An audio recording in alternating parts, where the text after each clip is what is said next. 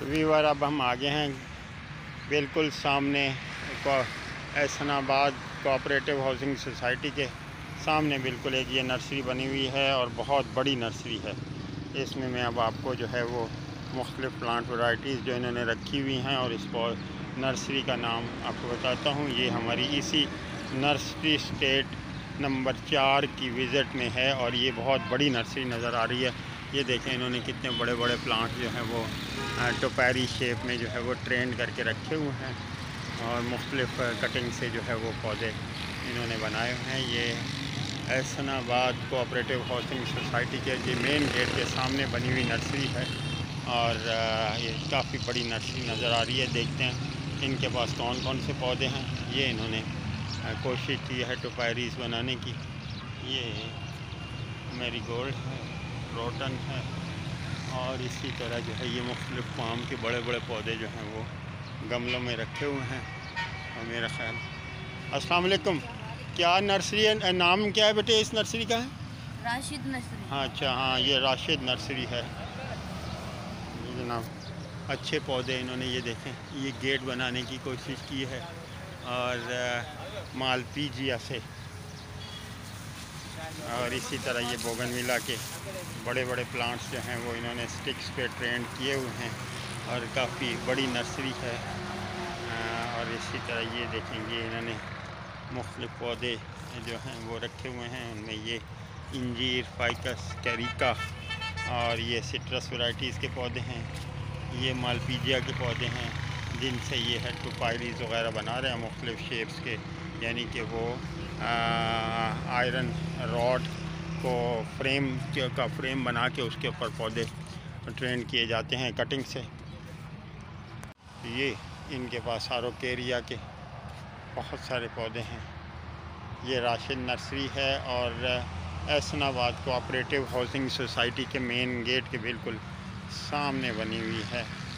और ये इसी हमारी नर्सरी स्टेट फोर की विज़िट में मैं आपको ये पौधे दिखा रहा हूँ। ये बिल्कुल एहसनाबाद कोऑपरेटिव हाउसिंग सोसाइटी के सामने बनी हुई नर्सरी है। ये देखें साइकस पाम के बड़े बड़े पौधे जो है वो गमलों में इन्होंने रखे हुए हैं। वो बहुत बड़े पौधे हैं और बड़े गमलों में हैं। कुछ हरीका पाम के पौधे भी हैं।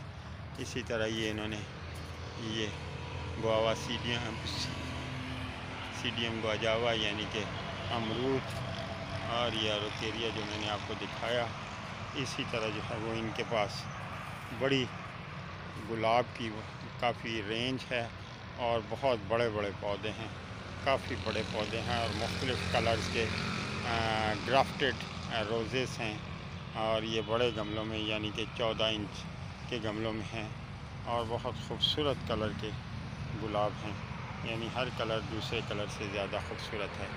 तो मैं आपको, क्योंकि ये हमने फौरी तौर पे जो है वो तमाम स्टेट को भी कवर करना है, इसलिए मैं आपको ये इनकी हल्की सी जो है वो झलक दिखा रहा हूँ कि कौन कौन से पौधे हैं और क्या क्या वैरायटीज़ हैं इनके पास। ये इंजीर के पौधे हैं, यानी फाइकस करिका, और ये है बेल वाला गुलाब, यानी कि जो है वो जिनकी बेल बनती है। क्लाइंबर रो क्लाइंबर रोजेस और इसी तरह ये ड्रेसिना मार्जिनेटा बाई कलर और ट्राई कलर के पौधे हैं। ये इन्होंने बड़ी अच्छी खूबसूरत बैग्स में जो है वो फाइकस बेंजामिना के पौधे लगाए हुए हैं। बहुत खूबसूरत नज़र आ रहे हैं। देखने में भी बहुत अच्छे लग रहे हैं। और ये ये मट्टी के गमलों में नहीं बल्कि बैग्स में लगाए हुए हैं और बैग्स के साइड पे उनके हैंडल भी हैं, यानी कि इनको हैंडलिंग में भी आसानी होती है। तो इस तरह आगे देखते हैं। आगे इन्होंने क्या, नर्सरी, ये राशिद नर्सरी है, जो कि एहसनाबाद कोऑपरेटिव हाउसिंग सोसाइटी के मेन गेट पे बिल्कुल सामने बनी हुई है और ये अच्छी खासी बड़ी नर्सरी है और इनके पास सबसे ज़्यादा तादाद में जो है वो मुझे गुलाब नज़र आ रहे हैं और गुलाब इन्होंने बड़े गमलों में रखे हुए हैं और ख़ूबसूरत कलर के गुलाब हैं इनके पास। हर गुलाब का कलर दूसरे से ज़्यादा खूबसूरत है। ये देखें, ये सारे गुलाब हैं और मैं एक एक दिखाना थोड़ा मुश्किल है, लेकिन मैं आपको एक ग्लेम्स इनकी जो इनके पास गुलाब की वैरायटी है और जो गुलाब के पौधे हैं वो दिखा रहा हूँ। देखें, हर पौधा दूसरे से मुख्तलिफ़ है। और ख़ूबसूरत कलर है और बड़े बड़े पौधे हैं। सोलह, अठारह इंच के गमलों में रखे हुए हैं। देखें वीवर्स इन्होंने बड़े बड़े गमलों में सीमेंटेड पॉट्स में और मट्टी अर्दन पॉट्स में जो है वो बड़े बड़े फाइकस के मुख्तलिफ़ वेराइटीज़ जो है वो भी रखी हुई हैं। Ficus benjamina ficus starlight ficus deltoidea और इसी तरह जो है मुख्तलिफ़, ना सिर्फ़ फाइकस के पौधे रखे हुए हैं, बल्कि मुझे पाम के भी पौधे नज़र आ रहे हैं, वो मैं आपको दिखाता हूँ।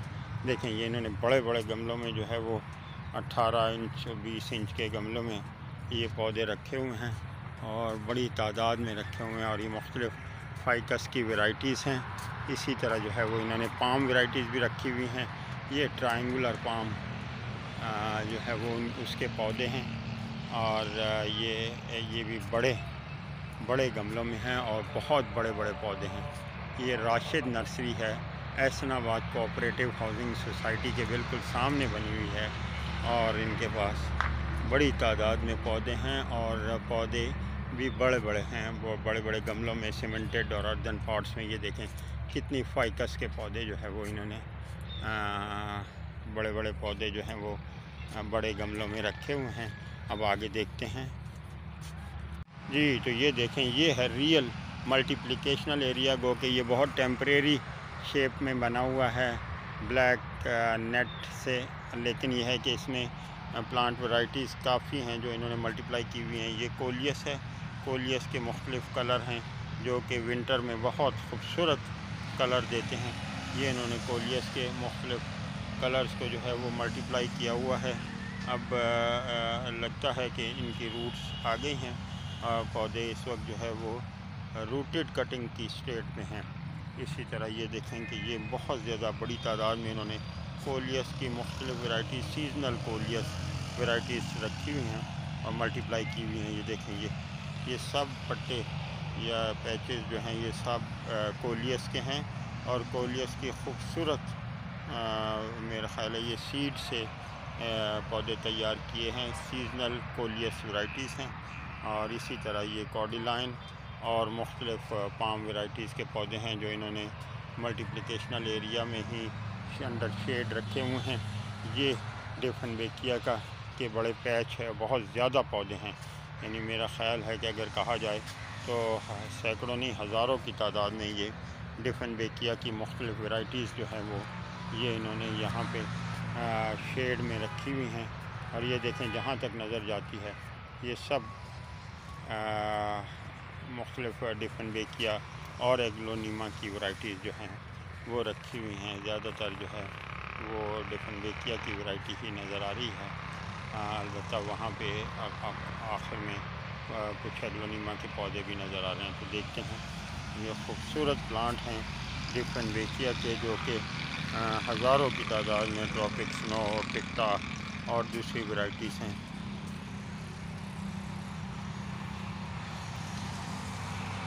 ये देखें, ये भी सब सब वेराइटीज़ हैं इसमें। एग्लोनीमा और ये एग्लोनीमा सिल्वर क्वीन मुझे नज़र आ रही है। ये देखें, ये एग्लोनीमा के पौधे हैं। ये सब एग्लोनीमा और डिफन बेकिया के मिक्स प्लांट्स जो हैं, वो रखे हुए हैं और हज़ारों की तादाद में ये एक्चुअल मल्टीप्लिकेशनल एरिया या शेडेड एरिया मैंने इस नर्सरी पे देखा है। ये राशिद नर्सरी है और ये एहसनाबाद कोऑपरेटिव हाउसिंग सोसाइटी के मेन गेट पे बनी हुई है। इसी तरह ये दीगर कटिंग्स हैं। ज़्यादातर फाइकस वैरायटीज़ हैं और इसमें ये स्टारलाइट है बेंजामिना है और ये सब फाइकस की वैरायटीज़ हैं। इसी तरह इन्होंने ये फिर कोलियस के पौधे हैं और ये ये डिफरेंट किया एग्लोनिमा के पौधे हैं। खूबसूरत प्लांट्स हैं और बहुत ही खूबसूरत शेप में हैं हेल्दी हैं और कलरफुल हैं। बहुत खूबसूरत हैं और ये हज़ारों की तादाद में इनके पास ये बने हुए पौधे हैं गमलों में। और इस तरह जो है वो हमने ये राशिद नर्सरी जो कि एहसनाबाद कोऑपरेटिव हाउसिंग सोसाइटी के गेट में बिल्कुल सामने बनी हुई है ममार साइड पे जाने वाले रोड पे।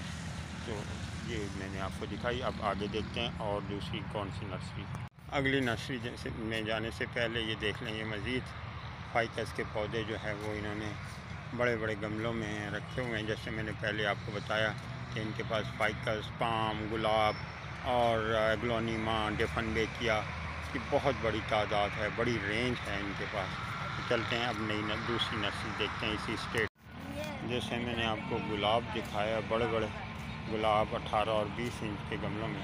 तो इनका रेट अभी किसी को ये बता रहे थे कि जो छोटे ये वाले पौधे हैं, वैसे तो तकरीबन सब एक साथ बराबर हैं। तो ये चार हज़ार और पाँच हज़ार रुपये का एक पौधा है। लेकिन ये बहुत खूबसूरत पौधे हैं और बड़ी तादाद में पौधे हैं।